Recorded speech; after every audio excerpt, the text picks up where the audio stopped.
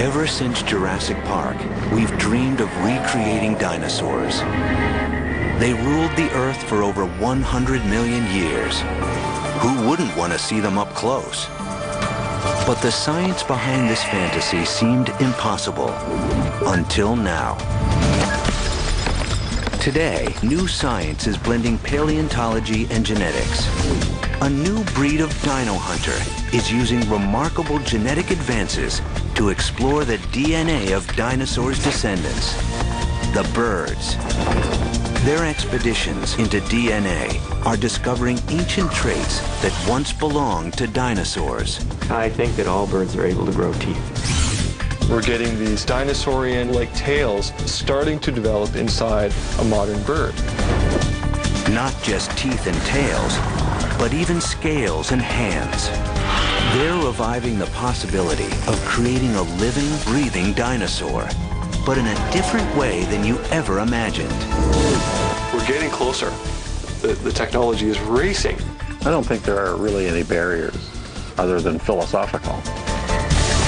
Will science ever be able to bring back dinosaurs?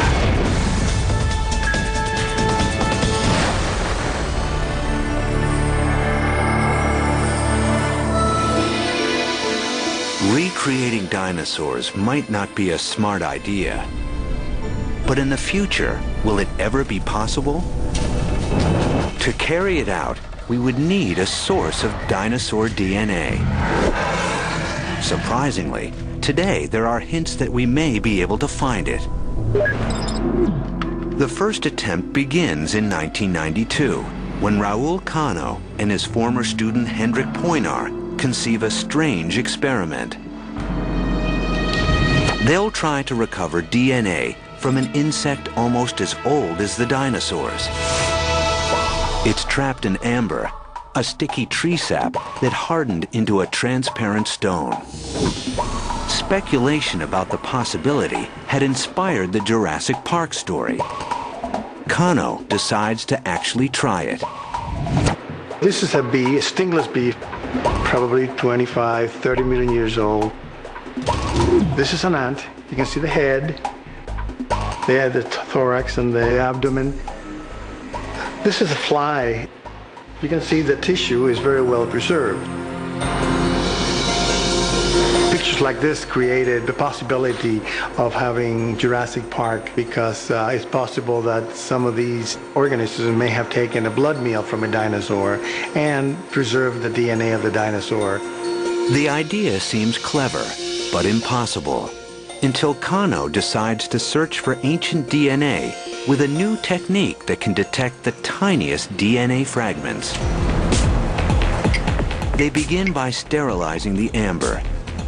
Then they add freezing liquid nitrogen. Well, now uh, the liquid nitrogen is is boiling over, and the amber is going to get real cold and it's going to crack. And finally, you'll be able to have access to the interior, and then you can collect the samples. Next, Cano grinds up the tissue and adds chemicals that make millions of copies of the tiniest DNA fragments, allowing them to be detected on a gel. After many trials, amazingly, they succeed in detecting a small sequence of DNA from a 40 million year old bee. Soon after, scientists at the American Museum of Natural History recovered DNA from an ancient termite. Suddenly, the impossible seems possible. Although the chances are slim and the fragments would be small, it appears that we may actually be able to find dinosaur DNA.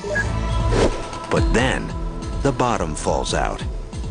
Over the next few years, all attempts to replicate the experiments fail.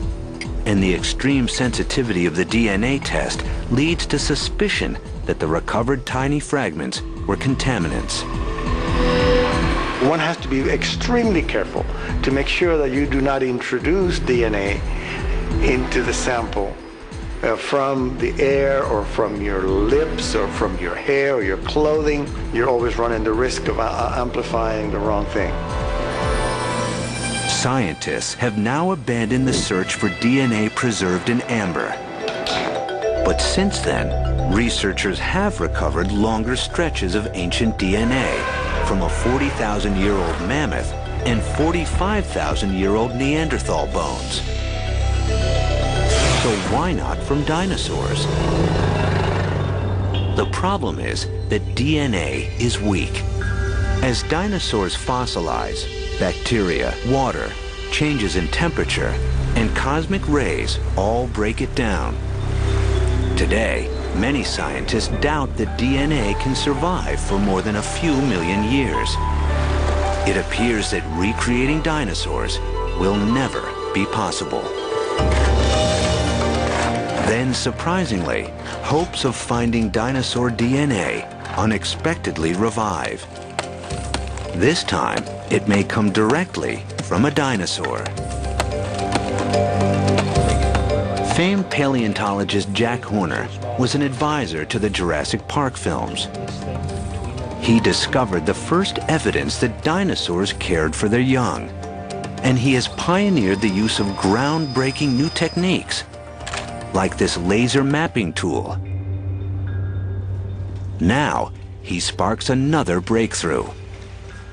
In 2003, in the Montana Badlands, Horner's team is excavating a remarkably well-preserved T-Rex skeleton but the site is so remote they can only carry it out by helicopter. And the thigh bone is too heavy. They have to break it in two. People just don't normally go around and break their bones open. And even for us, this was a time we just broke it because it was the only way to get it out.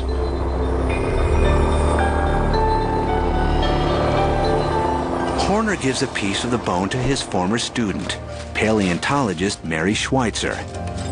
She examines it and immediately notices an unusual bone structure inside. It resembles a distinctive type of bone found only in pregnant birds. Puzzled, she asks her assistant Jennifer Wittmeyer to do something rarely done before. They place it in an acid solution to dissolve away some of the minerals on the surface. Six hours later, Wittmeyer looks again she ran into the room. She says, You are not going to believe this. When she picked up a small piece to stop the reaction by putting it in water, it stretched and it sproinged and it moved all over the place. So we knew we had something pretty unusual. It appears to be soft tissue. It's unimaginable to find soft tissue. It was just assumed that everything had been fossilized and therefore there wouldn't be soft tissue. When they look at neighboring parts of the bone, they're even more surprised. Out popped the blood vessels, and they were pretty incredible. And I said, I don't believe it. That's not possible. We need to do it again and again. It's one of those just goosebump inducing scientific moments. That's all I can say. And I, they don't really happen very often.